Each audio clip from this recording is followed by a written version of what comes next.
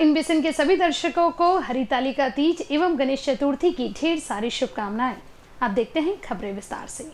नागपुर शहर में हरितालिका की पूजा अर्चना महिलाओं द्वारा बड़ी ही श्रद्धा के साथ की गई। इस दिन माँ गौरी की पूजा कर उनसे अपनी समस्त कामनाओं की पूर्ति और प्रार्थना की जाती है। इस दौरान महिलाएँ पूरे शाद श्रृंगार के साथ देखी जाती है।